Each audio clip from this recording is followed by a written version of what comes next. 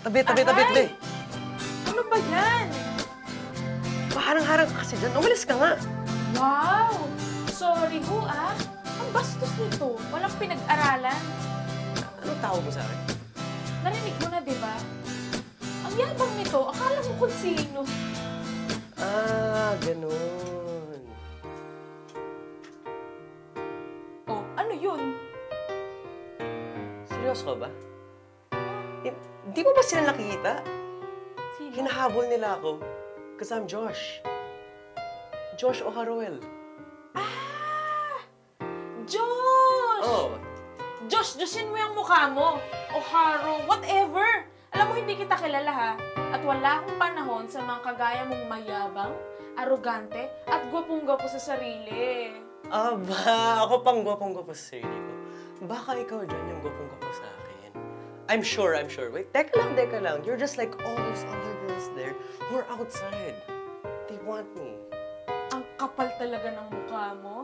Alam mo, kahit gaano ka makasikat, hinding-hindi kita magugustuhan. Tandaan mo yan. Tatanda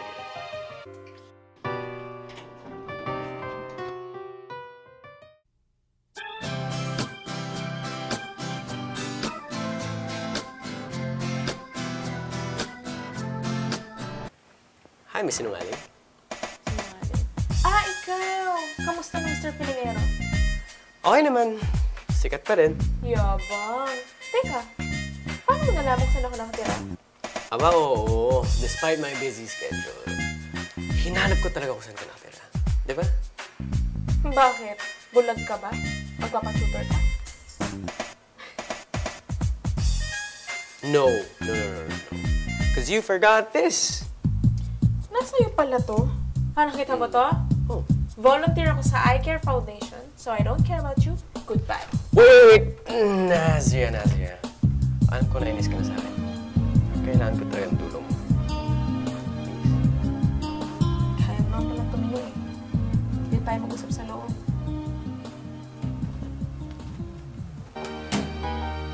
So, gusto mong mangyari? Tumira sa bahay ko for three weeks? Josh! Ano ba pumasok na kalokohan dyan sa isip mo? Nazria, kasi hindi ako nagbibiro. To be honest, I just want to get away from the whole being famous thing. I just... I just to be normal. Like, like you. Eh, wala namang matatakbuhang iba. Everyone I go to, nag-freak out na kagad pag sabi ko pa lang. Ano, sasabihin mo na nagyayabang ako. Eh, yun yung totoo eh. Mahirap kasi ang gusto mo mangyari. Tsaka, of all the people, bakit ako? Bakit hindi yung parents mo? Yung friends mo? Yung manager mo, yon. Wait.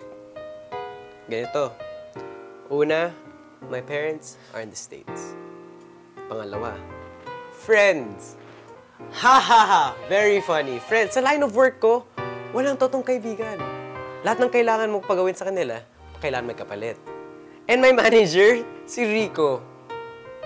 All he wants to do with me is make money out of me. So, wala talagang matatakbuhan. Kundi ikaw. Kaya Nazria, please just help me out. Bitawan mo nga ako. Okay. So, what's the catch? Catch? Catch? So, ano to? Tutulungan kita, pero wala naman ako mapapala. Ah, gets. Madali. Uy, ikaw ah, hindi yan ang ibig ko sabihin. Balik ka nga doon. Ang ibig ko sabihin, ano naman may tutulong mo sa akin in return? Ah, akala ko naman kung anong pinagsasabi mo. Madali naman ang kausap eh. Ah, sige, gumanyan ka pa, atras na lang akong tulungan ka. Ay, okay, sige. Ganito na lang ah. Um, what if I donate, let's say, 300,000 sa IK Foundation mo? Saka, during my whole stay here, I'll pay for the food, the electricity, the water, yung rent mo, at kung ano-ano pa. That is a good catch. 300,000 pesos. Yeah. Josh O'Harwell, this is my house and may mga rules ako. Una, bawal magsigarilyo. Bawal uminom. Bawal magingay lalo na kapag after 8pm na. 8 p.m. Natutulog ka na Yes, maaga ako nagtuturo, remember? Sabi ko. Ako na magluluto ng pagkain, pero naman, after mo naman kumain, pakiligpit na kasi wala po akong maid dito. Ano? Ma'am, sa dami-dami ng sinasabi mo. Tingin mo maalala ko yan. Teacher Nasir naman. Josh, kung ayaw mo yung mga rules sa bahay ko, you may go. Tandaan mo, ikaw may favor sa akin, hindi ako. Siguro principal boyfriend mo, no? Wait, oops, oops, oops. Um, hindi ba siya magalit na dito? Ma-expel na ba ako, ma'am? Josh, isa akong respetadong personal teacher at volunteer sa Eye Care Foundation. Kaya sige, titiisin ko yan kasi mas mahal ko yung mga batang matutulungan mo. And, wala po akong boyfriend.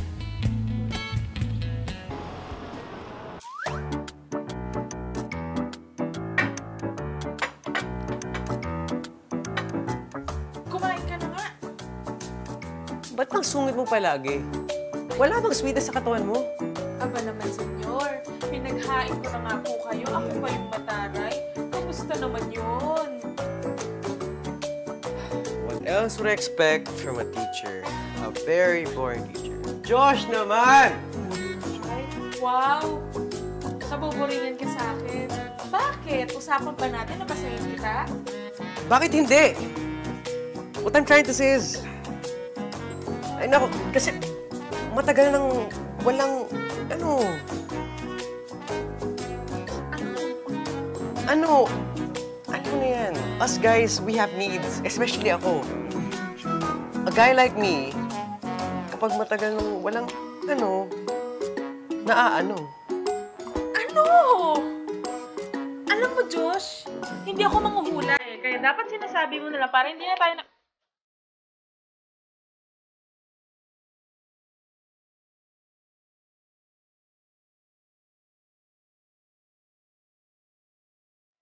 Um, ano? Tulog na tayo. Tara! Tulog ka, diba? Ah. Okay.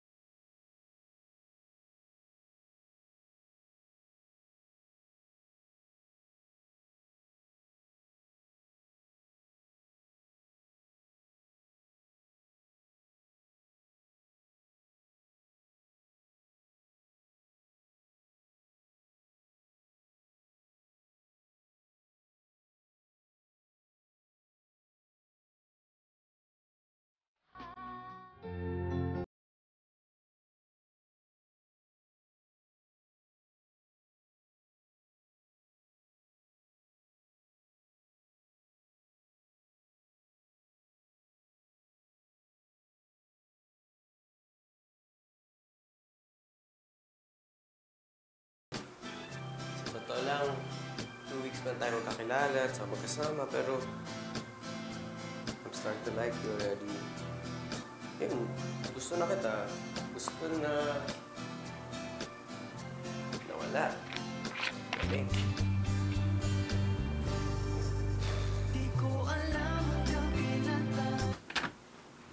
Good morning, Nazia. Good morning. Aga mo nagising ngayon. Marunong ka magluto? Oo naman, culinary arts graduate kaya. Hindi lang hanap tapos macho. Alam mo, sana noong pa sinabi, no? Sana ikaw nalang pinagluto ko. Alam mo, huwag ka mag-alala. Masarap ka nang magluto eh. Kailangan lang ng konting And don't worry, I'm here naman eh. Grabe, no? Match na match tayo. Bagay na bagay.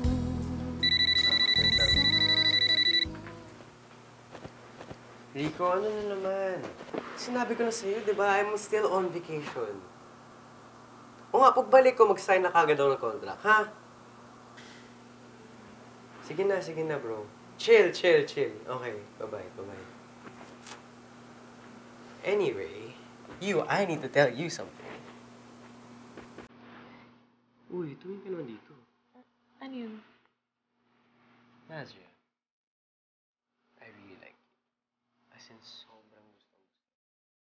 I know this cause kailangan kita.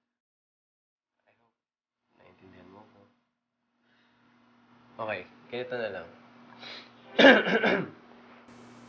kailangan kita ngayon at kailanman. Pag-ibig na kaya pareho ang nagdarama ito ba kasi na? Ano? Uh, maliligo na ako kasi malilate na ako eh. Sige, sige.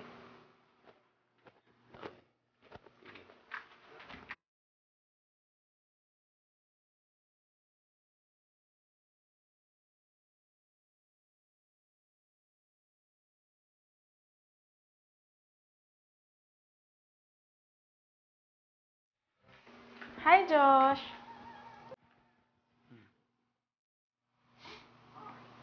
Galit ka ba sa akin?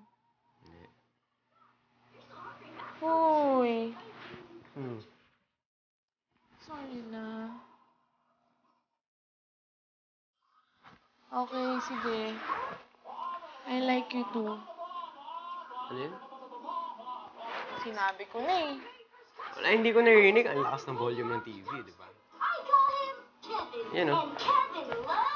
My food. Sabi ko, I like you too. Yan, reaction kasi. Sorry.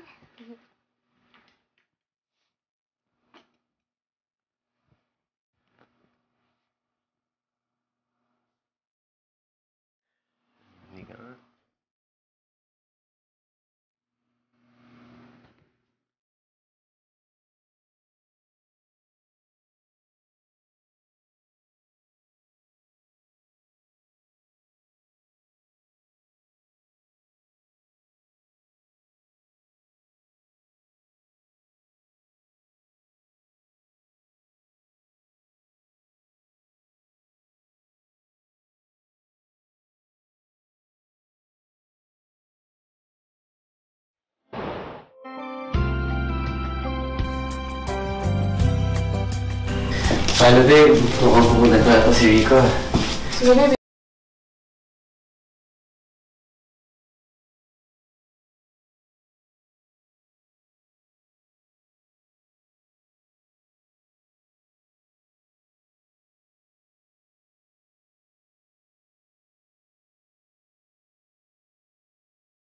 Tinataguan mo ba ako?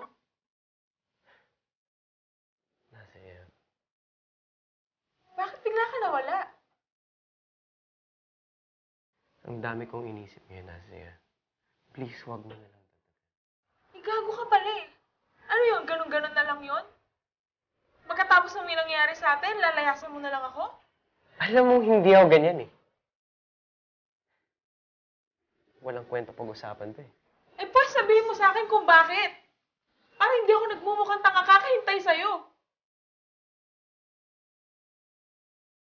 Hindi kita kailangan ngayon, Nazia. Ano sabi mo? Josh, hindi mo na akong pahirapan. Di ba alam mo naman na mahal kita? May sinabi bang mahal kita?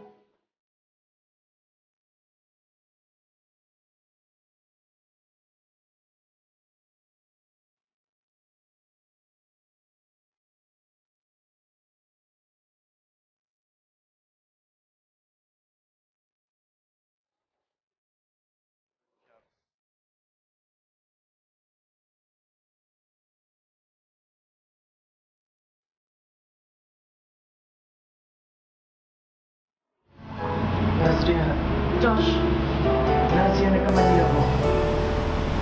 Natakot ako. Naging selfish ako para sa career ko. Alam ko, saktan kita. That's why I'm here. I'm really sorry. okay. Okay, yan lang masasabi mo. Nazia, kung gusto mo sampalin, sampalin mo na ako. Please, patawarin mo na ako. Josh naman! Okay na ako eh. Sito ka na naman. Guguluhin mo na naman ako. Maawa ka naman sa akin. Hindi na kita guluhan kasi mahal nga kita. Mahal? Di ba hindi mo ako mahal? Yun ang sinabi mo sa akin, di ba? Nagsinungaling lang ako sa andun si Rico. Pero mahal na mahal kita. Wala ka naman sa akin, please. Mahirap nang maniwala, Josh. Kasi sinaktan mo lang ako eh. At uulitin mo lang yun dahil dyan ka naman magaling. Manakit. Kaya please lang, layuan mo na ako. Kasi baka hindi ko na makaya. Hindi na kita kayang mahalin.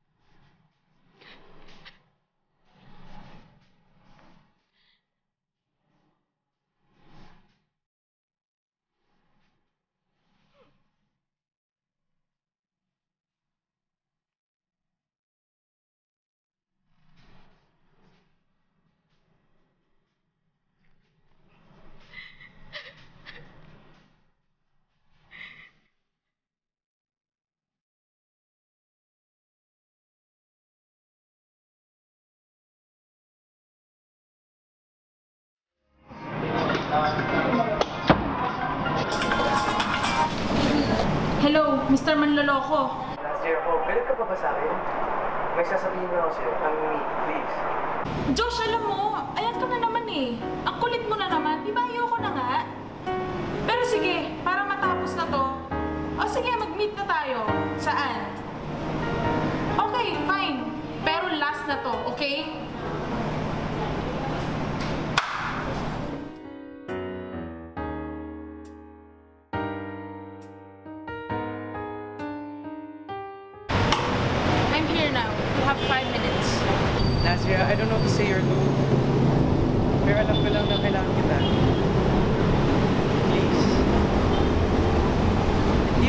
Makapapromise na hindi na kita sasaktan ulit. Pero hindi ba kasama yun sa pagmamahal? Yung masaktan? Josh, paano kung ayoko na masaktan? And then hindi na kita sasaktan. Oh, ayan ka na naman eh. Sabi mo kasama sa pagmamahal yon. Hindi ba masapat sa'yo na mahal na mahal kita?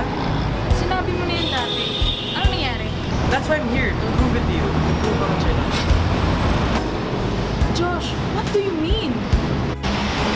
Nazir, I need you in my life,